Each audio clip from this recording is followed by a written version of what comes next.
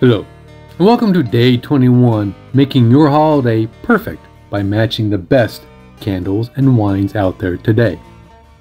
Today's candle, a bergamot and oud. Funny, whenever I think of oud, I think of those Doctor Who characters. Paired with our Bordeaux Blanc wine.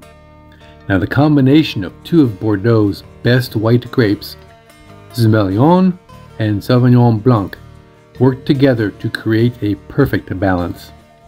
The zesty citrus nature of Sauvignon Blanc is mellowed out by the richness and honey characteristics of Semillon. It's a perfect winter white. You will get hints of guava, grapefruit, bosc pear, and some honey as mentioned. This goes well with manchego cheese. Mmm. Well, that's all we have for today, folks. Thank you for watching, and we look forward to seeing you again tomorrow. Good night.